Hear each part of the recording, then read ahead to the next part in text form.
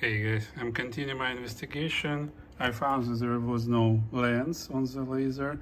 I know that this is problem for all Pioneer CD players with inverted when like head on top of the disc, inverted construction or design. So I found a lens, so it's, it's right here.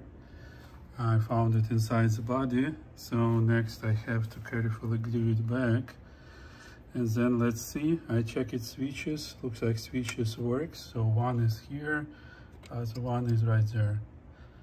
It's two position one is position switch another is like uh, transport up and down switch. Like position mean like it's disk is out or disk is in. Or tray tray out tray in. And other one is like uh, um, if heads plate is up or down okay let's see. So this one uh, motor pushes out and in tray and this motor uh, pops up and down the tray itself.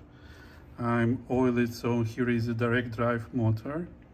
I have oiled it and looks like everything is fine here but it doesn't start it doesn't rotate. So probably this like lens like may affect like if it thinks uh, disk is in or not. So let me install lens back and let's see if it will help. Moving on. Bye-bye.